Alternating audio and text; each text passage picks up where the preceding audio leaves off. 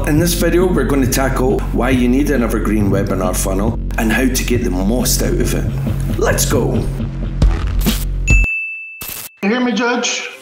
I can hear you. I think it's a filter. It, in the- it is, and I don't know how to remove it. Uh, I'm prepared to go forward with it. Uh, That's, I'm here live. It's not, I'm not a cat.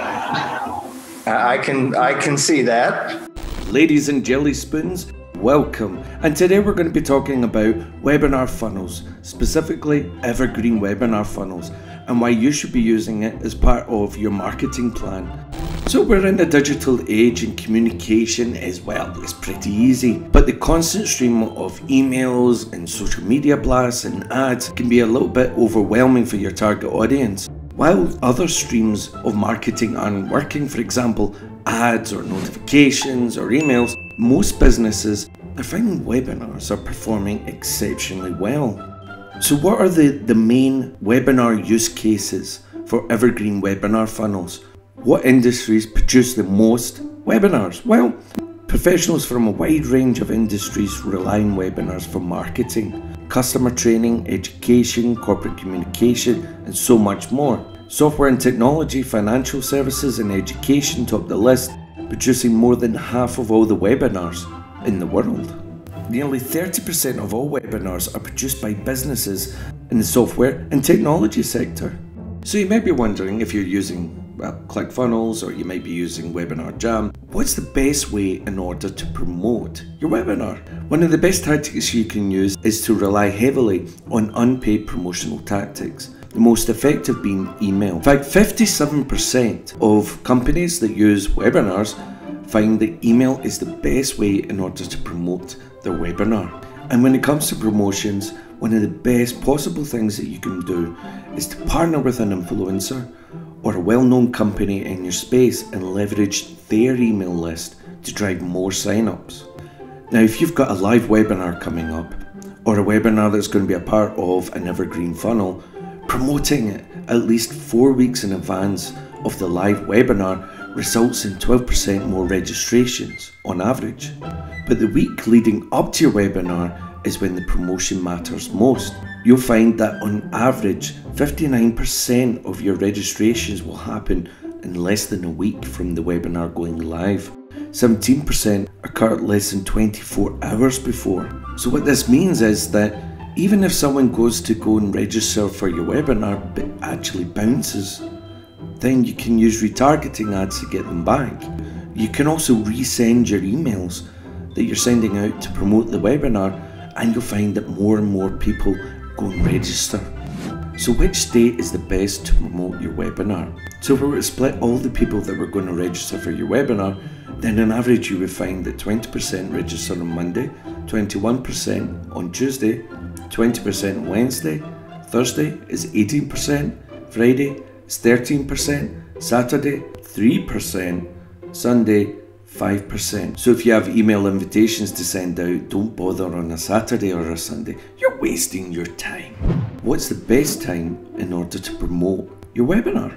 What day to promote your webinar will probably vary by channel. However, on average, there's a clear spike between 8am and 10am. Be sure to send emails early in the morning so they'll be at the top of the recipients' inboxes when they get into the office or on their way to work.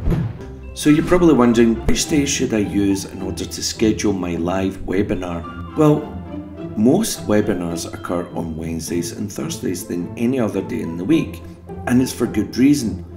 Attendees prefer those days. Both Wednesday and Thursday have an average attendee count higher than the rest, while on a Sunday less than 1% will turn up.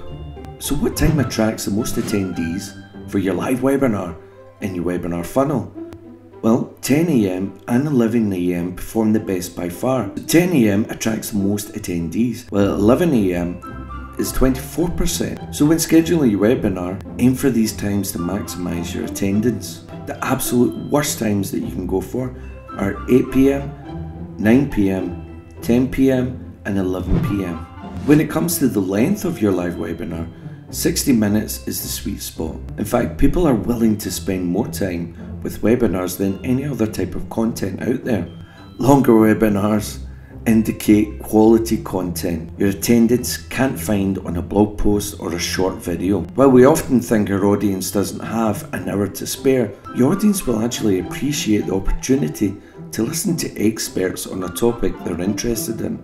So don't be afraid to schedule a 60 minute webinar. In a recent survey of attendees to webinar, they asked what webinar length do you expect and appreciate the most? Only 8% said 30 minutes or less, while 67% said 60 minutes. So how long can you keep your audience engaged with your live webinar? Well, attendees actually have a longer attention span than you might expect. And the average viewing time for all types of webinars is 57 minutes. For training webinars, 61 minutes is the sweet spot. For corporate communication webinars, it's 55 minutes. And for marketing webinars, it's 52 minutes. So if you were to take an average a tentative score, marketing webinars are 23%, training webinars are 29%, and corporate communication webinars are 34%. One of the top tips that we can give for attendee engagement is to turn on your web camera, be personable, and have fun with the audience. So, how can you boost attendee engagement? Well, you can have a hand raise. And don't be afraid to unmute attendees at any point during the webinar so they can comment or ask questions. So, you might be wondering how many attendees is good? For marketing, the average is 56 attendees. For training, 39. Corporate comms is 40 attendees. 44% of webinars have fewer than 25 attendees. This means you don't need to panic if you've only got a small audience actually attending your webinar. Now remember, if you've got an evergreen webinar funnel, then more than 80% of the people that attend your webinars are going to come not when it's live, but afterwards. This means that in addition to engaging large audiences when you're driving traffic through your evergreen webinar funnel, Live webinars are also useful for training sessions and interactive sessions. Scheduling your webinars for 10am attracts the most attendees, while Wednesdays and Thursday webinars attract the most attendees, accounting for 52% of all webinar attendees. And the perfect length of time is 60 minutes. So don't be afraid to go too in depth with a topic. So there we have it, evergreen webinar funnels. They're fantastic at getting leads and sales.